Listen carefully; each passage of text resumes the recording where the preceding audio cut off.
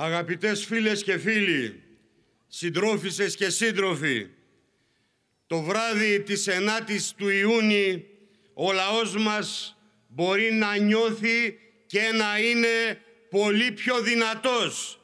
Το λέμε και το πιστεύουμε. Αρκεί να το πιστέψετε και όλοι εσείς, όλοι και όλες εσείς που στηρίξατε το ΚΚΕ στις τελευταίες βουλευτικές εκλογές εκλέγοντας κομμουνιστή βουλευτή στα Γιάννενα μετά από χρόνια τον Νίκο Έξαρχο. Εσείς που στηρίξατε τη λαϊκή συσπήρωση στις τελευταίες δημοτικές εκλογές. Εσείς επίσης που σκεφτόσασταν να το κάνετε, αλλά τελικά δεν το αποφασίσατε. Τώρα είναι η ώρα να κάνετε αυτό που σκέφτεστε, να φτάσετε στην κάλπη με το ψηφοδέλτιο του ΚΚΕ. Δεν παίρνει άλλη αναβολή. Έτσι κι αλλιώς όλα τα υπόλοιπα δοκιμάστηκαν. Όλοι εσείς που έχετε δώσει μαζί με τους κομμουνιστές δύσκολες μάχες μέσα στους χώρους δουλειάς, που έχετε στηρίξει τις δυνάμεις του ΚΚΕ όπου έχουν στηθεί κάλπες τα τελευταία χρόνια. Στο εργατικό κίνημα, κάνοντας το Εργατικό Κέντρο Ιωαννίνων όπως και δεκάδες άλλα εργατικά κέντρα σε όλη τη χώρα πραγματικά στηρίγματα των εργαζομένων. Στις φοιτητικές εκλογές όπου η πανσπουδαστική που στηρίζει η ΚΝΕ και το ΚΚΕ αναδείχθηκε πρώτη δύναμη πανελλαδικά για τρίτη συνεχή χρονιά και στο Πανεπιστήμιο Ιωαννίνων για τέταρτη χρονιά γιατί κάποιοι πάντα ανοίγουν το δρόμο. Όλοι εσείς, όλοι εσείς που παρακολουθείτε τη δράση του ΚΚΕ, που εκτιμάτε τη σταθερότητα των θέσεών του, πάντα υπέρ των λαϊκών συμφερόντων, εκτιμάτε τη σοβαρότητα των αναλύσεών του, ακόμα και αν υπάρχουν ζητήματα στα οποία έχετε κάποιες φορές διαφορετικές προσεγγίσεις. Όλοι εσείς που θέλετε να στείλετε ένα μήνυμα διαμαρτυρίας, ακόμα και αντίθεση σε αυτή την Ευρωπαϊκή Ένωση, που αλλιώς σας τα έλεγαν τα κόμματα του κεφαλαίου και αλλιώς τελικά όπως βλέπουμε όλοι είναι. Και δεν άργησε βέβαια να αποκαλυφθεί και πολύ ο αντιλαϊκός, ο αντιδραστικός της χαρακτήρας. Αντί για ένωση των λαών της Ευρώπης, είναι μια ένωση των μονοπωλίων, των λόμπι της διαφθοράς, των πολέμων και φυσικά των αντιλαϊκών κυβερνήσεων κάθε απόχρωσης.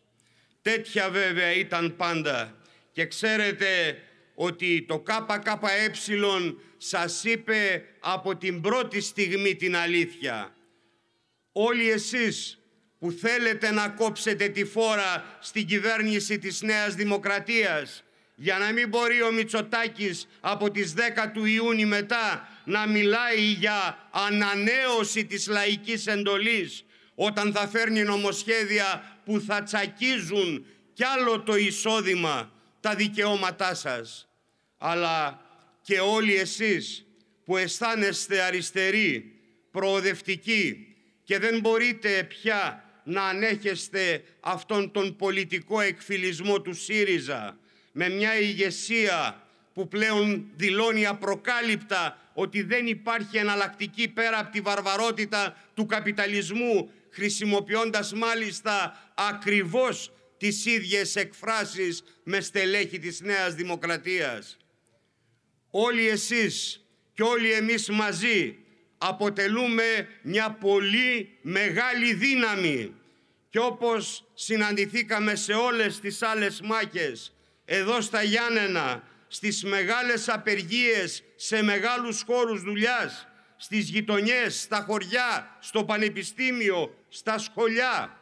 Τώρα να συναντηθούμε και στις κάλπες των ευρωεκλογών για να μην σκορπίσει αυτή η δυναμική που υπάρχει σε διάφορες ανώδυνες κατευθύνσεις για να πετύχουμε αυτό που όλοι οι άλλοι ξορκίζουν να συνεχιστεί δηλαδή η ανωδική πορεία του ΚΚΕ και σε αυτή την κάλπη.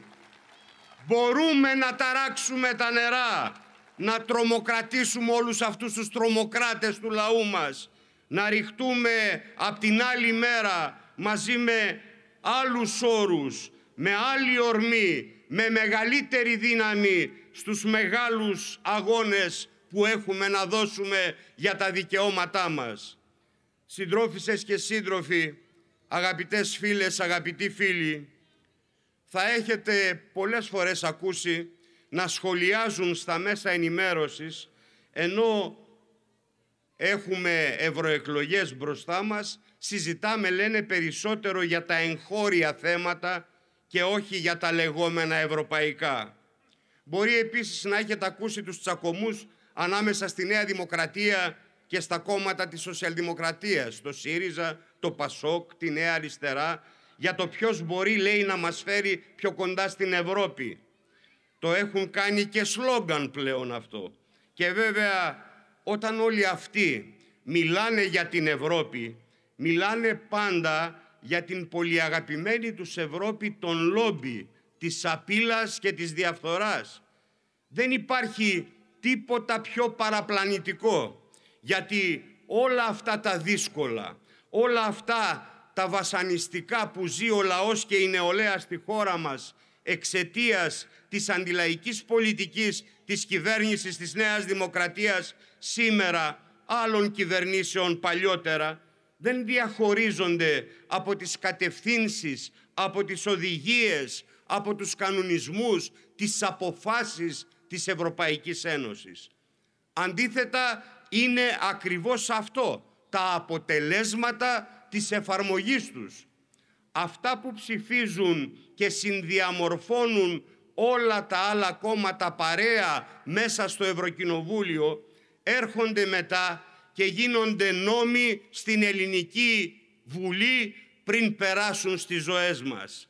Επομένως, δεν μπορείς να τιμωρήσεις, να καταδικάσεις την πολιτική της Νέας Δημοκρατίας χωρίς ταυτόχρονα να καταδικάσεις και την πολιτική της Ευρωπαϊκής Ένωσης. Ούτε βέβαια και το αντίστροφο. Δεν υπάρχει ίσως πιο εμβληματικό παράδειγμα από αυτό του εργάσιμου χρόνου. Τις λεγόμενες βέλτιστες ευρωπαϊκές πρακτικές που διαπερνούν τις θέσεις και της Νέας Δημοκρατίας και του ΣΥΡΙΖΑ και του ΠΑΣΟΚ και με βάση τις οποίες διεκδικούν και την ψήφο των εργαζομένων. Τι εννοούν, εννοούν ως βέλτιστο τη δουλειά ήλιο με ήλιο, τα ανύπαρκτα όρια μεταξύ εργάσιμου και μη εργάσιμου χρόνου, τη μεγένθυνση του απλήρωτου χρόνου εργασίας με τις υπερορίες που μπορεί να αμείβονται λέει με ρεπό, τη διάλυση του όποιου προγραμματισμού υπάρχει για τους εργαζόμενους. Μιλάμε για κανονικό ελευθέρας στην εργοδοσία να ξεσαλώνει με ανεπανόρθωτες συνέπειες για την υγεία, για την ασφάλεια των εργαζομένων. Έτσι σήμερα 138 πλέον χρόνια από την Πρωτομαγιά του Σικάγο όταν οι εργάτες κατάκτησαν το 8ωρο και ενώ πλέον είναι πέρα για πέρα ρεαλιστικό με βάση την ασύλληπτη πρόοδο της άνοδο της παραγωγικότητας, την πρόοδο της επιστήμης, της τεχνολογίας, της παραγωγικότητας της εργασίας, οι εργαζόμενοι να δουλεύουν 7ωρο, πενθήμερο, 35ωρο. Αντί γι' αυτό έχουμε να αναμετρηθούμε με τα 13 ώρα, με τη διευθέτηση του εργάσιμου χρόνου και όλα εκείνα τα εργαλεία που μας γυρνούν στον εργασιακό μεσαίωνα. Και αυτό το ονομάζουν δυστυχώς πρόοδο, εξυγχρονισμό στην Ευρωπαϊκή Ένωση. Τη σύγχρονη δηλαδή σκλαβιά. Αυτή είναι όμως η κανονικότητα της Ευρωπαϊκής Ένωσης που λένε. Τέτοιοι νόμοι έχουν περάσει σε όλα τα κράτη-μέλη της. Στα περισσότερα μάλιστα και πολύ νωρίτερα από την Ελλάδα. Ο στόχος τους δεν είναι βέβαια άλλος από τη μεγιστοποίηση των κερδών των ευρωπαϊκών μονοπωλίων, η βελτίωση της θέσης αυτών στον ανταγωνισμό τους με άλλα μονοπόλια άλλων κρατών. Τα 12 ώρα, η εξαήμερη και επταήμερη εργασία, την οποία αντιπαλεύουν οι εργαζόμενοι στο Ζαγόρι, εδώ στα Γιάννενα και σε πολλούς άλλους ακόμα χώρους δουλειάς, η κατάργηση της Κυριακάτικης Αργίας και τα σπαστά ωράρια στο εμπόριο, οι 60 ώρες δουλειά την εβδομάδα στους νοσοκομιακούς γιατρούς, όλα έχουν τη σφραγίδα της Ευρωπαϊκής Ένωσης και των κομμάτων που πίνουν νερό στο όνομά της, που τα έχουν ψηφίσει και τα έχουν υλοποιήσει όλα αυτά. Και φυσικά δεν είναι μόνο ο εργάσιμος χρόνος. Όποια πέτρα κι αν σηκώσει ο λαός των Ιωαννίνων, από κάτω θα βρει και μια αντιλαϊκή οδηγία της Ευρωπαϊκής Ένωσης. Κατεύθυνση της Ευρωπαϊκής Ένωσης είναι, για παράδειγμα, η παραγωγή προϊόντων και ειδικά αγροτικών κτηνοτροφικών προϊόντων ονομασίας προέλευσης με στόχο τις εξαγωγές και όχι την κάλυψη των εγχώριων αναγκών σε διατροφικά προϊόντα. Και αυτή την ονομάζουν, είναι η περιβόητη εξωστρέφεια της ελληνικής οικονομίας για την οποία μιλούν βέβαια και ορκίζονται σε αυτή όλα τα κόμματα. Και μετά τσακώνονται ο Μητσοτάκης με τον Κασελάκη για την τιμή της φέτας. Αλλά για την πολιτική αυτή της Ευρωπαϊκής Ένωσης τσιμουδιά, μόκο. Απ' την άλλη, οι αθρώες εισαγωγές γάλακτος άλλων προϊόντων που δυσκολεύει την επιβίωση των κτηνοτρόφων δεν είναι κάποια παρέκκληση από την πολιτική της Ευρωπαϊκής Ένωσης. Είναι η καρδιά, είναι η κανονικότητα που λέμε της Ευρωπαϊκής Ένωσης. Είναι οι γνωστές, θυμάστε, ελευθερίες του Μάστριχτ που πριν 32 χρόνια ψήφισαν όλοι μαζί αγκαλιά πλην ΚΚΕ και υπόσχονταν ευημερία και στους αγρότες και στους κτηνοτρόφους και σε ολόκληρο το λαό. Και δεν άργησε να αποκαλυφθεί πως οι ελευθερίες για το κεφάλαιο είναι μόνο αλυσίδες για τους εργαζόμενους. Και εδώ στα Γιάννενα, σε όλη την Ήπειρο, όλοι όσοι ορθώνουν το ανάστημά τους ενάντια στην άναρχη επέλαση των ΑΠΕ, των ανανεώσιμων πηγών ενέργειας, όσοι έδωσαν μάχες για την υπεράσπιση της φυσικής ομορφιάς αυτού του τόπου, όσοι τρομάζουν να ανοίξουν το λογαριασμό του ρεύματος, πρέπει να γνωρίζουν ότι η λεγόμενη πράσινη μετάβαση είναι η επίσημη πολιτική της Ευρωπαϊκής Ένωσης, ψηφισμένη από όλα τα άλλα κόμματα στο Ευρωκοινοβούλιο και είναι η βασική αιτία της ενεργειακής φτώχειας. Και έχουμε και συνέχεια. Λεφτόδεντρα δεν υπάρχουν κατά την Ευρωπαϊκή Ένωση και τα κόμματά της εδώ για προσλήψεις στην υγεία, για να μπορέσουν να λειτουργήσουν όλες οι χειρουργικές κλίνες στα νοσοκομεία και να φτιαχτούν και άλλες, για τη λειτουργία των ΜΕΘ, για αναβάθμιση του ΕΚΑΒ, των κέντρων υγείας στα χωριά, αλλά υπάρχουν εκατομμύρια ευρώ για τους ομίλους της ιδιωτικής υγείας και για τις ΜΚΟ στον τομέα της ψυχικής υγείας. Για παράδειγμα, το Κέντρο Ψυχικής Υγείας στα Γιάννενα υποχρεώνεται να παρέχει στέγη, στη, στέγη στις ΜΚΟ και σταδιακά αυτές αναλαμβάνουν να αντικαταστήσουν και υπαρκτές δημόσιες δομές όπως έγινε με την υπηρεσία έγκαιρης παρέμβασης στην ψύχωση στο Πανεπιστημιακό Νοσοκομείο Ιωαννίνων. Η στρατηγική της Ευρωπαϊκής Ένωσης στην υγεία είναι που ορίζει τη δραστική περικοπή των κρατικών δαπανών, τη λειτουργία των δημόσιων νοσοκομείων ως αυτοτελώς χρηματοδοτούμενες μονάδες, όπως τις λένε, σαν επιχειρήσεις δηλαδή, για να λέμε τα πράγματα με το όνομά τους. Μη σας ξεγελούν τα όσα σας λέει ο Μητσοτάκης για τα κονδύλια του Ταμείου Ανάκαμψης που τάχα πάνε στην υγεία. Κάθε ένα από τα λίγα ευρώ που δίνονται στην υγεία από το Ταμείο Ανάκαμψης, από αυτό το υπερμνημόνιο της Ευρωπαϊκής Ένωσης με τα εκατοντάδες από πίσω αντιλαϊκά προαπαιτούμενα, προορίζεται να δώσει όθηση μόνο στην κερδοφορία κατασκευαστικών και μεγάλων ενεργειακών ομίλων με τις περιβόητες ενεργειακές αναβαθμίσεις στα νοσοκομεία. Σε νοσοκομεία όμως που δεν έχουν γιατρούς, δεν έχουν νοσηλευτές, δεν έχουν προσωπικό καθαριότητας, δεν έχουν όλο τον απαραίτητο ιατρικό εξοπλισμό. Και η λίστα αυτή δεν έχει τέλος. Με δύο λόγια, την Ευρωπαϊκή Ένωση και την πολιτική της την ξέρουμε όλοι και όλες καλύτερα και από αυτό που μπορεί να πιστεύουμε. Τη ζούμε κάθε μέρα στο πετσί μας, σε όλα αυτά που μας ταλαιπωρούν, που μας κρατούν απομονωμένους από τις δυνατότητες που υπάρχουν για την κάλυψη των σύγχρονων αναγκών μας. Όλα για την κερδοφορία των λίγων ομίλων. Ψίχουλα για τις ανάγκες των πολλών. Αυτή είναι η Ευρωπαϊκή Ένωση και η πολιτική της. Αυτή είναι η πολιτική της Νέας Δημοκρατίας και όλων των άλλων.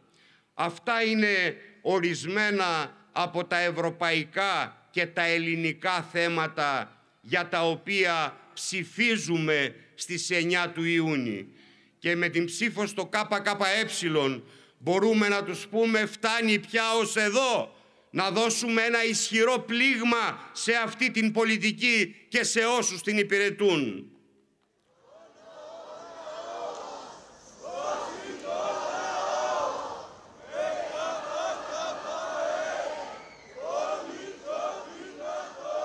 Κανείς δεν μπορεί να πάει στις κάλπες τη μεθεπόμενη Κυριακή χωρίς να έχει και στο μυαλό του τις επικίνδυνες διεθνείς εξελίξεις, τους δύο πολέμους που μένονται στην περιοχή μας και στους οποίους η Ευρωπαϊκή Ένωση πρωταγωνιστεί με εμπλοκή και της δικής μας χώρας.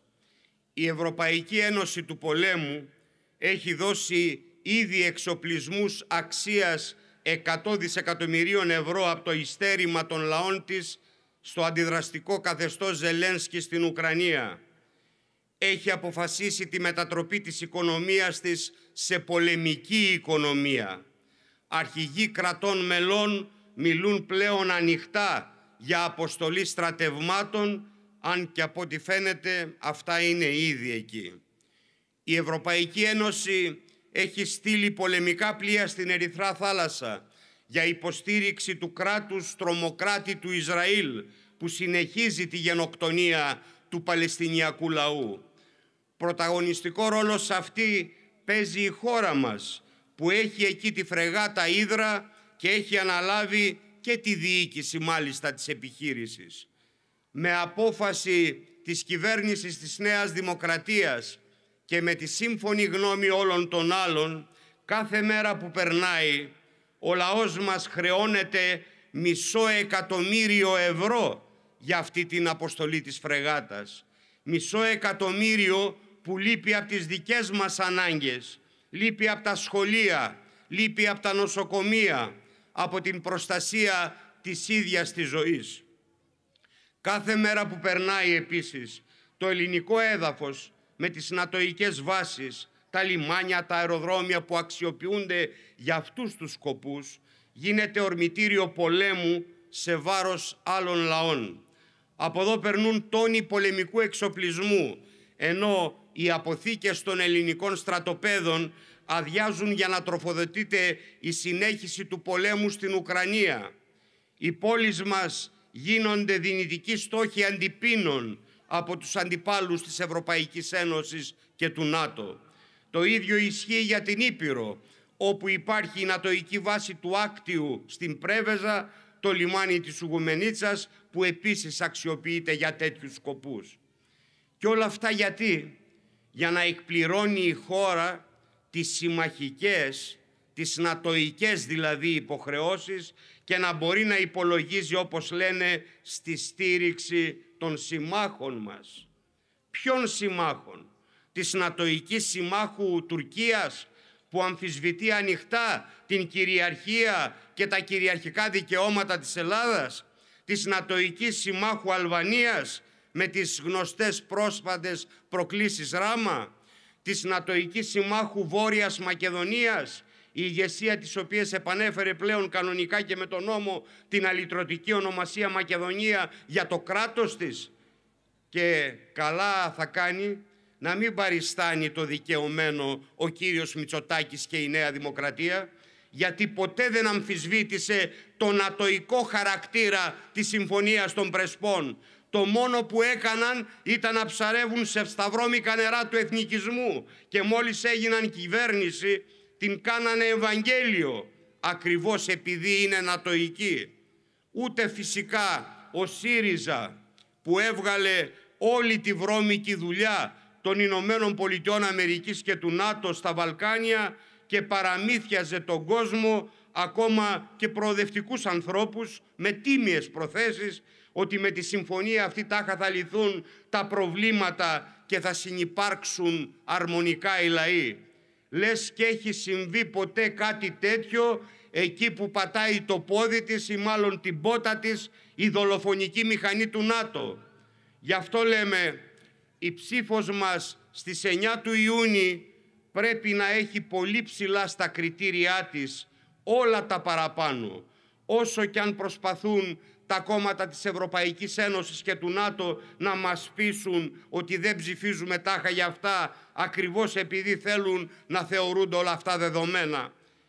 Έχουμε βέβαια από πάνω και διάφορους από τη Νέα Δημοκρατία μέχρι τη Νέα Αριστερά να μας λένε ότι η Ευρωπαϊκή Ένωση πρέπει τώρα να ξυπνήσει, να πετύχει, λένε, τη στρατηγική της αυτονομία, να πάψει να σέρνεται πίσω από το ΝΑΤΟ, να φτιάξει το δικό της στρατό και άλλα τέτοια κουραφέξαλα.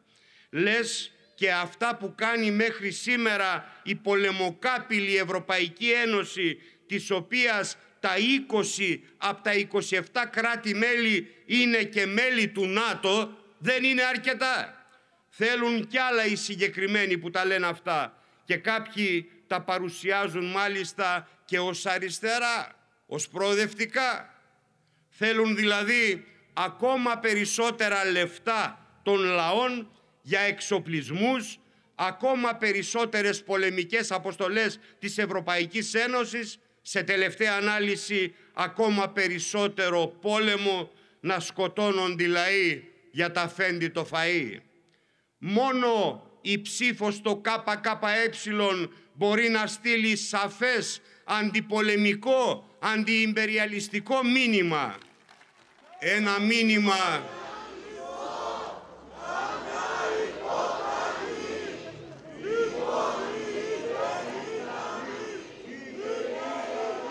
μήνυμα αλληλεγγύης στους λαούς που δοκιμάζονται και πρώτα απ' όλα στον πολύπαθο λαό της Παλαιστίνης.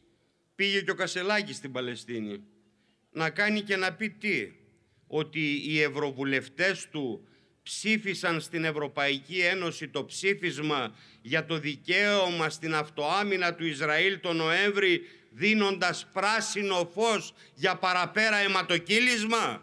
Ότι ο, ο ίδιος ήταν έτοιμος όταν πήγε στην Αμερική, στη ΣΥΠΑ, να συναντηθεί με, τα, με το μεγαλύτερο αντιδραστικό Ισραηλινό λόμπι, να πει ότι η κυβέρνηση του ΣΥΡΙΖΑ με υπουργούς τότε της Νέας Αριστεράς αναβάθμισε τις σχέσεις της με όλους αυτούς τους δολοφόνους; Μήπως τους έπιασε ο πόνος για το δράμα των Παλαιστινίων; Απλά φοβήθηκαν μη τους πάρει και αυτούς και τους σηκώσει η οργή του λαού και της νεολαίας μας που από την πρώτη μέρα μια φράση έχουν στο στόμα «Λευτεριά στην Παλαιστίνη».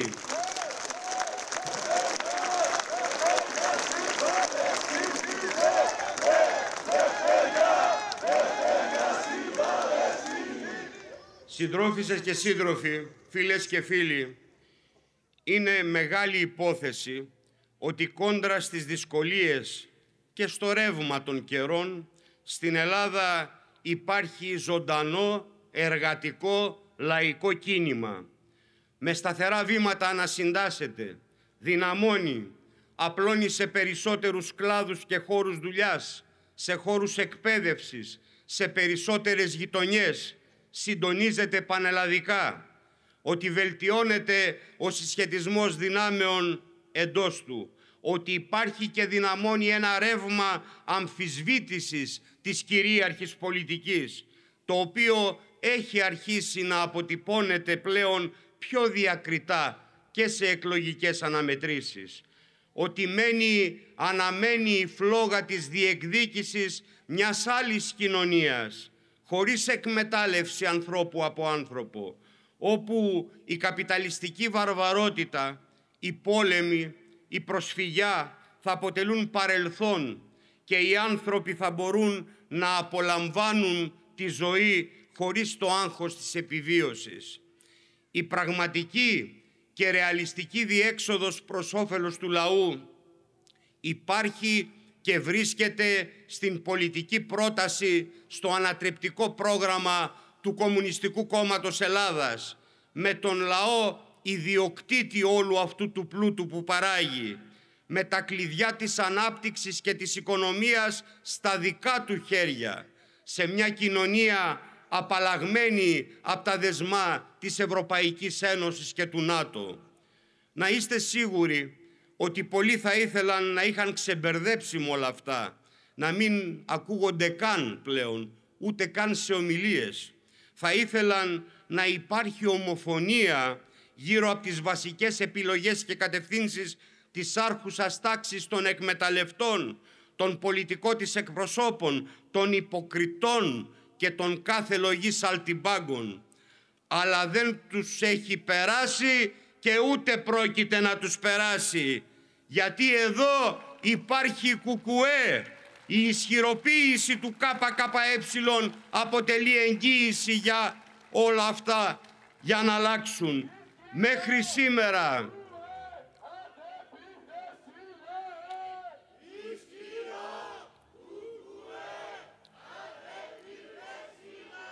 μέχρι σήμερα με τους αγώνες μας, με το ΚΚΕ μπροστά, έχουμε πετύχει αρκετά.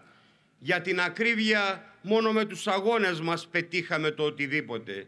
Τίποτα ποτέ δεν χαρίστηκε στο λαό από τις κυβερνήσεις, όπως κι αν αυτές πλασαρίστηκαν στο λαό, ούτε από την ίδια την Ευρωπαϊκή Ένωση. Με τους αγώνες τους οι εργαζόμενοι έχουν επιβάλει υπογραφή συλλογικών συμβάσεων εργασίας με αυξήσεις σε μια σειρά κλάδους. Έχουν καθυστερήσει την εφαρμογή των νόμων για τη διευθέτηση του χρόνου εργασίας, για την παρεμπόδιση της λειτουργίας των συνδικάτων. Με τους αγώνες τους οι υγειονομικοί έχουν βάλει σοβαρά εμπόδια στην υλοποίηση του μέτρου των απογευματινών επιπληρωμή χειρουργείων στα οποία θέλησαν να στείλουν μέχρι και ογκολογικούς ασθενείς εδώ στα Γιάννενα, αλλά δεν τα κατάφεραν. Με τις μεγάλες λαϊκές διαδηλώσεις, με την τεράστια απεργία της 28ης του Φλεβάρη, με την προσπάθεια του ΚΚΕ μέσα και έξω από τη Βουλή και φυσικά με τον σπουδαίο αγώνα των συγγενών των θυμάτων έχει ιτηθεί το αφήγημα της κυβέρνησης της Νέας Δημοκρατίας που ήθελε να αποδώσει εκείνο το μεγάλο έγκλημα των τεμπών αποκλειστικά σε ένα ανθρώπινο λάθος. Έχει μείνει το θέμα ψηλά. Έχουν αναδειχθεί σε μεγάλο βαθμό οι πραγματικές ευθύνες παρά την εξοργιστική προσπάθεια συγκάλυψης που συνεχίζει να γίνεται. Με τον αγώνα τους οι φοιτητές και οι φοιτήτριες κουρέλιασαν το νόμο έκτρωμα για τα ιδιωτικά πανεπιστήμια, ενώ η μάχη για τη μη εφαρμογή του είναι ανοιχτή και όλοι και όλες ξέρουν πως οι νόμοι έτσι όπως ψηφίζονται έτσι μπορούν και να μείνουν στα χαρτιά. Και ο νόμος Χατζηδάκη ψηφίστηκε αλλά σε μεγάλο μέρος του είναι ήδη ένα κουρελόχαρτο και ο νόμος για τις απαγορεύσεις της διαδηλώσεις ψηφίστηκε αλλά και αυτός έχει μείνει στα χαρτιά. Με τον αγώνα τους οι βιοπαλαιστές αγρότες κέρδισαν τη συμπαράσταση όλου του λαού απέσπασαν κάποια έστω μέτρα ανακούφισης. Οι αγώνες που έχουμε μπροστά μας είναι πιο πολλοί και πιο μεγάλοι. Θα τους δώσουμε και αυτούς όλοι και όλες μαζί. Άλλωστε, στις 10 του Ιούνιου θα είναι εδώ όλα τα μεγάλα προβλήματα. Θα είναι εδώ η αντιλαϊκή πολιτική της Ευρωπαϊκής Ένωσης, της κυβέρνησης, των άλλων κομμάτων. Θα είναι εδώ και οι ανάγκες μας όμως, που δεν μπορούν να περιμένουν. Γι' αυτό στις 9 Ιουνίου αξιοποιούμε το όπλο που έχουμε στα χέρια μας και σημαδεύουμε σωστά. Ρίχνουμε ένα ηχηρό χαστούκι στην Ευρωπαϊκή Ένωση, στην κυβέρνηση της Νέας Δημοκρατίας, σε όσα μας κάνουν το βίο αβίωτο. Ακυρώνουμε τις προσπάθειες της αμαρτωλής σοσιαλδημοκρατίας να αναβιώσει πάλι τις ίδιες αυταπάτες που τόσο πίσω μας έφεραν, τόσο πολύτιμο χρόνο μας στέρισαν τα προηγούμενα χρόνια και που έφεραν τελικά πάλι το Μητσοτάκι καβάλα στάλογο. Ο λαός των Ιωαννίνων με τη βαριά αγωνιστική ιστορία, με τους επονίτες μαθητές της Ζωσιμαίας Σχολής που βρέθηκαν κρατούμενοι στον Ταχάου και τους οποίους τιμήσαμε πρόσφατα και με την επίσκεψή μας εκεί στον Ταχάου, αλλά και τόσα άλλα ηρωικά παραδείγματα, ξέρει που θα στείλει τους αλτιμπάγκους της ακροδεξιάς και ξέρει ότι μόνο η ψήφος στο ΚΚΕ και ο αγώνας μας είναι που τους αφήνουν και θα τους αφήσουν πίσω στο περιθώριο. Πάμε λοιπόν στις λίγες μέρες που έμειναν να κινητοποιήσουμε όλες μας τις δυνάμεις, να εξαντλήσουμε κάθε περιθώριο για να βρεθεί το ΚΚΕ όσο γίνεται ψηλότερα, να στείλουμε στο Ευρωκοινοβούλιο δοκιμασμένους αγωνιστές που θα αποτελούν τη φωνή των πολλών, που θα δίνουν λόγο μονάχα στους εργαζόμενους της χώρας μας, στο λαό μας, και όχι στα λόμπι και στα κάθε λογής παράσιτα που κλέβουν τον πλούτο που παράγει ο λαός. Να δώσουμε κουράγιο, να δώσουμε ελπίδα σε όλους τους λαούς της Ευρώπης που αγωνίζονται, σαλπίζουμε πανευρωπαϊκή αντεπίθεση για την Ελλάδα και την Ευρώπη των λαών, την Ελλάδα και την Ευρώπη του σοσιαλισμού. ΚΚΕ δυνατό, η ελπίδα είναι εδώ. Καλή δύναμη, θα τα καταφέρουμε. Εμπρός λοιπόν, προχωράμε μπροστά. Κουκουέ δυνατό, η ελπίδα είναι εδώ. Δεν υπάρχει άλλη λύση, δεν υπάρχει άλλη διέξοδος. Γεια σας, καλή δύναμη, καλή υγεία.